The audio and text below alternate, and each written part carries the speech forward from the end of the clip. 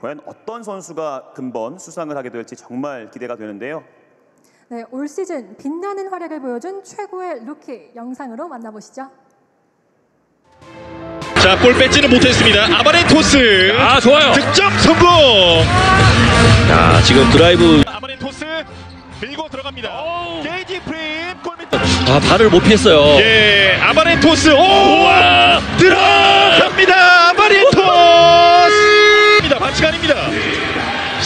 1초 아바레토스 기록합니다. 석점. 2022 to 2023 A. Pro Basketball Award Ceremony Rookie of the Season Ron J. Abarientos.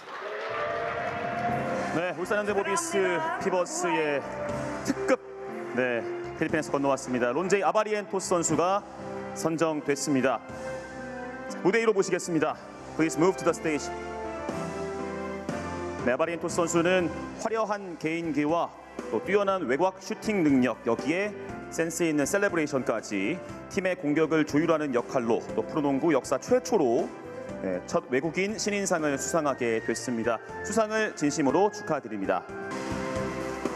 KBL의 이제 뜬 춘삼이 열풍 그 주인공인 춘삼이 현대모비스 피버스의 론제이 아바리엔토스 진심으로 축하드리겠습니다.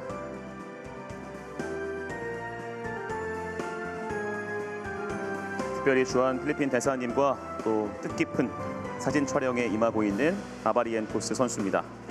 Since receiving this ROI Rookie of the Year award, uh, could you please say something to the fans, please? Uh, first of all, I just want to say uh, thank you uh, for my coaches, Mobis, especially Mobis team, uh, to all my teammates uh, helping me through a lot uh, on and off the court.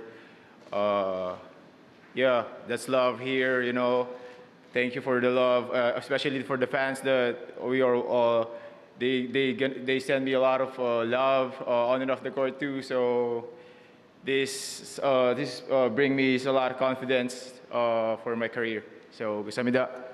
하고 이 상 수상이 큰 자신감으로 다가온다라는 이야기를 아바리엔토스 선수가 건넸습니다. 축하드리겠습니다. 네, 다시 한번 수상을 축하드리겠습니다.